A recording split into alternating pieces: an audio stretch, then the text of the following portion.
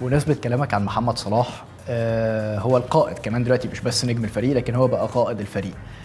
إيه الأدوار اللي مش ظاهرة لنا بيعملها معاكم كقائد للفريق في لم شملكم في تحفيزكم الحاجات اللي إحنا ما بنشوفهاش قدام الكاميرا؟ لا هو دوره كبير جدا طبعا في الفرقة. يعني إن هو بس يكون معانا في الفرقة دي حاجة بتدينا ثقة كبيرة.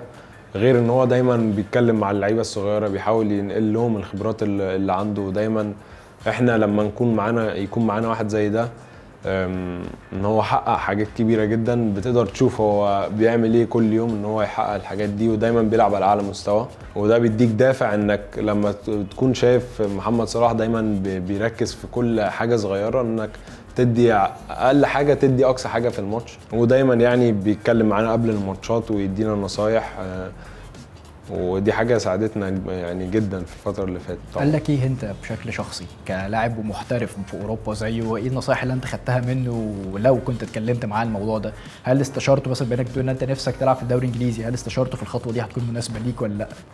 يعني بنتكلم بشكل عام تقريبا بنتكلم قليل عن الكورة ان إحنا دايما في الملعب وفي التمرين فالواحد كورة. آه. آه.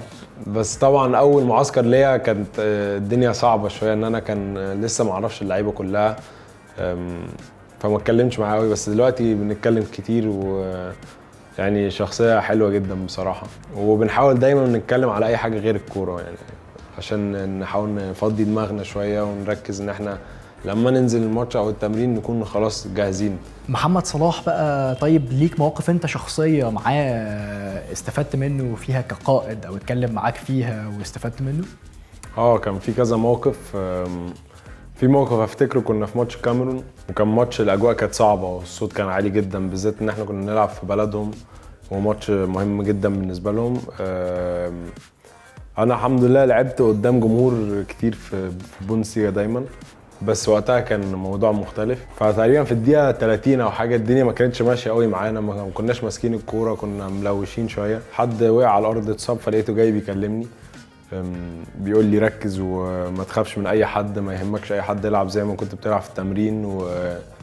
وأنت لعيب كويس و... وإن شاء الله يعني هت... هتعمل حاجة كويسة لو لعبت وما فكرتش في حاجة وأنا باثق فيك وكده. طبعا إن أنا أسمع كلام زي ده في وسط الأجواء دي إن أنا عمال بفكر إحنا لازم نكسب ولازم نمسك كورة. حاجة كبيرة وحاجة بتهديك وقتها في الماتش. إن يكون معاك آه، آه، حد زي محمد صلاح معاك في الملعب قائد زيه آه، حاجة كبيرة جدا طبعا.